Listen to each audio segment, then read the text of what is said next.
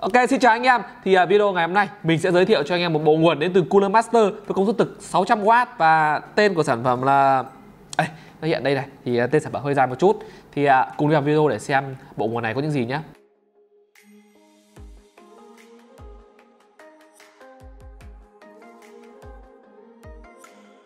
Ok, đầu tiên sẽ là phần mở hộp để xem bên trong hộp những gì. Thì anh em có thể nhìn thấy bên ngoài thì đây thì là vỏ hộp màu tím và có dòng chữ màu trắng đen đây thì cũng trùng hợp đấy mình có một chiếc vòng tay cũng đến từ Cooler Master có dòng chữ trắng và bên ngoài màu đen.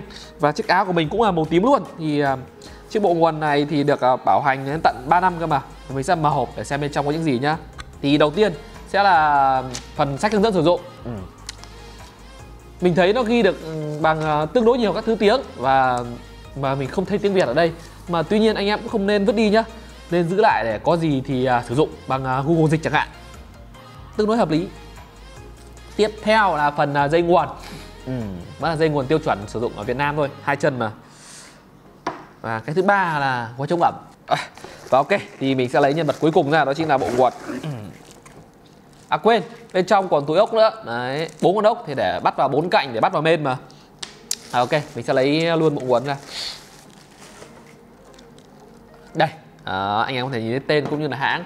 Thì và dành cho anh em nào chưa biết thì đây là bộ nguồn được chúng mình sử dụng để trao giải trong sự kiện uh, tập làm review nhận quà cực chất do Alphard Computer đồng hành cùng Cooler Master tổ chức. Và mặc dù sự kiện này đã kết thúc rồi, tuy nhiên sắp tới chúng mình sẽ có rất nhiều các sự kiện khác và để tham gia sự kiện thì uh, link nhóm mình sẽ để ở phía phần mô tả của video.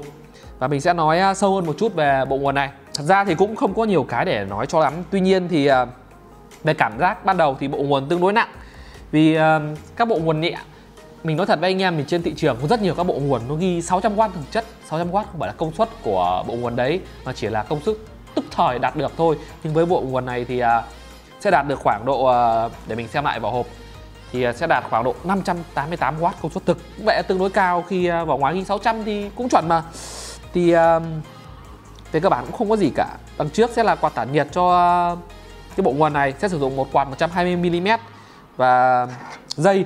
Dây được thiết kế là dây dẹp. Vì ở một số các bộ nguồn à, rẻ của một số hãng khác thì dây nguồn ấy họ thường hay làm theo nhiều màu sắc ví dụ như cả màu đen này màu vàng này.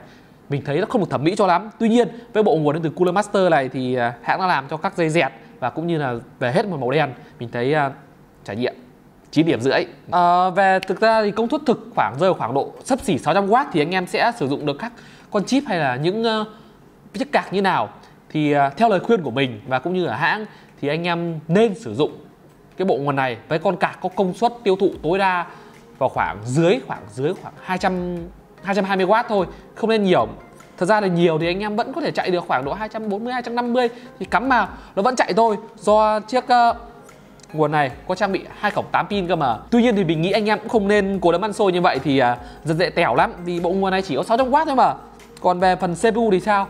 Thì à, CPU mình khuyên anh em nên sử dụng các dòng kiểu i5 i7 um, non cây tức là dòng không ép sung được thì à, uh, vì khi ép sung thì ăn rất là nhiều điện và anh em nên sử dụng một bộ nguồn có công suất lớn hơn. Còn bộ nguồn này thì sử dụng các bộ máy bình thường. Và ok vừa rồi là phần giới thiệu rất là nhanh về phần nguồn đến từ hãng Cooler Master. Thì uh, anh em thấy sao về sản phẩm này? Đừng quên để lại ý kiến ở mục comment video. Và nếu anh em có hứng thú với sản phẩm thì đường link mua hàng thì sẽ để ở phần mô tả. Xin chào và hẹn gặp lại anh em ở các video sau.